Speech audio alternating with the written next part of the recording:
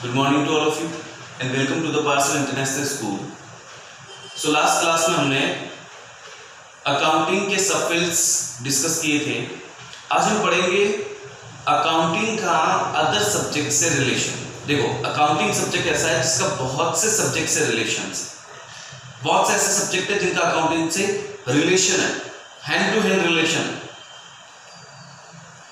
हमारे बुक्स में ऐसे छह रिलेशन दिए छह सब्जेक्ट से रिलेशन दिए आज दो सब्जेक्ट के रिलेशन पढ़ेंगे फ़र्स्ट टू तो आज हम पढ़ेंगे सबसे पहले अकाउंटिंग सब्जेक्ट का relation with maths relation with mathematics आपको पता है मैथमेटिक्स सब्जेक्ट सबसे पहले ये बताओ मैथमेटिक्स सब्जेक्ट में हम क्या सीखते हैं? हमने, हमारे जीवन में जो एड करना लेस करना सब्ट्रैक्ट करना मल्टीप्लीकेशन डिवाइडेशन परसेंटेज कैलकुलेट करना। ये सारी चीज़ें हमने कौन से सब्जेक्ट में पढ़ी है? मैथमेटिक्स मैथ्स में पढ़ी अब आज जब आप अकाउंटिंग पढ़ेंगे अकाउंटेंसी पढ़ेंगे तो आपको कहीं ना कहीं इन चीज़ों की रिक्वायरमेंट रहेगी। अकाउंटेंसी एक प्रैक्टिकल सा सब्जेक्ट है, जिसमें आपको प्रैक्टिस चाहिए होती है, जिसमें आपको हर जगह ऐड करना, ये ये सब कॉमन चीज़ है। आपको एडिशन सब्ट्रैक्शन मल्टीप्लिकेशन ये सब करना पड़ेगा। अब जब भी अकाउंट्स का कोई भी चैप्टर उठा लीजिएगा, कोई भी चैप्टर पढ़ लीजिएगा, आपको इन सब के बिना वो चैप्टर कंप्लीट नहीं हो पाएगा। तो इसका मतलब ये हुआ अकाउंटेंसी सब्जेक्ट का मैथमेटिक्स से डायरेक्ट रिलेशन है। अगर इफ़ एनी स्टूडेंट मैं तो मैथ्स के वो जैसे मैथ्स में बहुत से टॉपिक होते हैं ना बेटा, जो कुछ टफ भी होता है ना, मुझे उन सब टॉपिक से कोई लेना देना नहीं मुझे यहाँ पे कोई मीन मीडियम मोड ये सब नहीं पढ़ना। मुझे मैथ्स के और भी बहुत से टॉपिक ज्योमेट्रिक मीन ये ये, नहीं एल्जेब्रा वगैरह, इन सब की रिक्वायरमेंट नहीं है। मुझे सिर्फ़ एक common maths common maths means ये सब। अगर आप लोग इन सब में अच्छे से तैयार हो, कुछ बच्चे ऐसे होते हैं जिनको इनमें भी दिक्कत होती है। तो उनके लिए अकाउंटेंसी थोड़ा सा दिक्कत है। अगर आपको इनमें दिक्कत है तो अकाउंटेंसी में दिक्कत आएगी लेकिन अगर आप लोग इस सब्जेक्ट में तैयार हैं, और इस सब्जेक्ट का यूँ नहीं कि मेरे को मैथ्स पूरी आनी चाहिए मैं नहीं, ऐसा नहीं।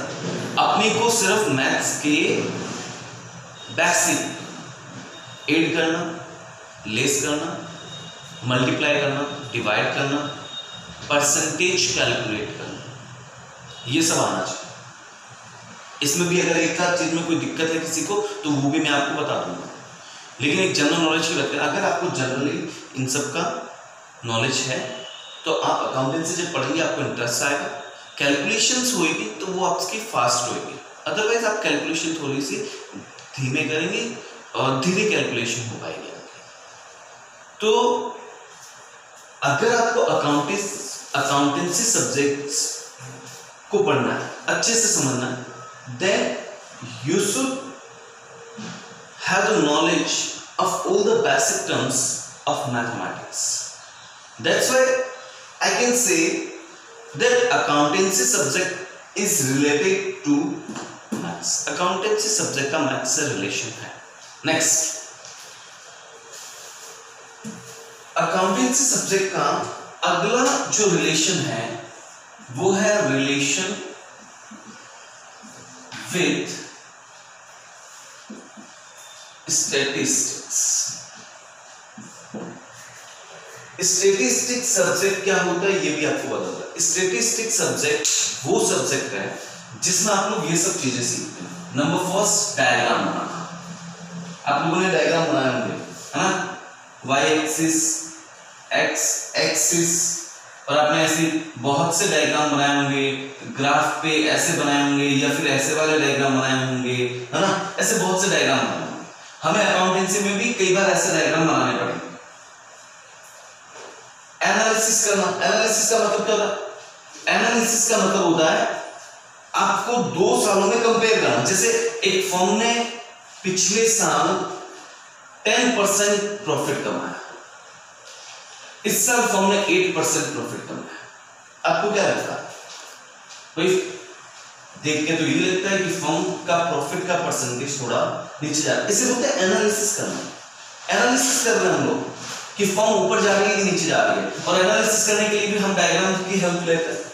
कई बार आपको टेबल बनानी पड़ेगी। टेबलेशन टेबल बनाइए आप लोग। जिसमें रो और कॉलम होता है ना? रो कॉलम वाली। ऐसी टेबलें भी आपको फ्रेम करनी पड़ेगी। तो ये सारी चीज़ें आप लोगों ने कौन सा सब्जेक्ट में देखी है?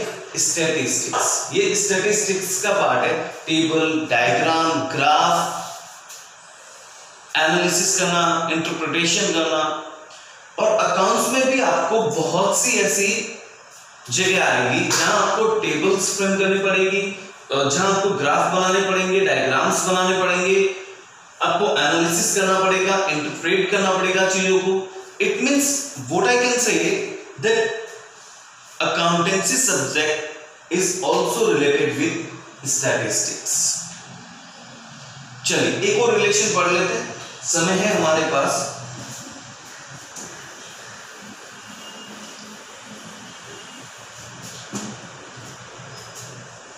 Relation with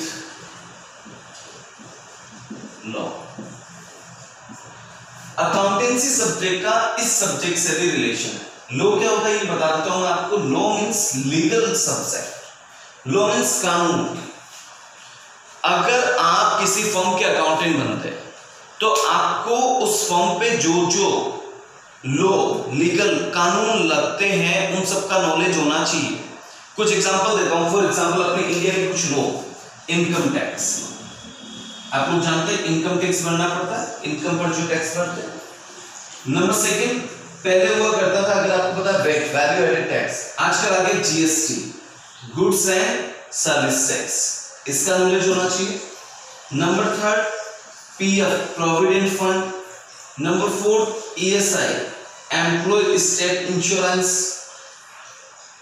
मतलब आपको उस फॉर्म पे जो जो टैक्स या लॉ है, उन सब्जेक्ट्स का, उन चीज़ों का नॉलेज होना चाहिए। अब मान लीजिए, आपको इनकम टैक्स का नॉलेज ही नहीं है, और आप अकाउंटिंग करने बैठते हैं किसी फॉर्म के आपने एक फॉर्म की अकाउंटिंग करना स्टार्ट की but you don't have the knowledge of all this आपको इस सब्जेक्ट का नॉलेज नहीं लो क्या होता है इनकम टैक्स जीएसटी वगैरह। तो फिर आप उस फॉर्म की अकाउंटिंग अच्छे से नहीं कर पाएँगे।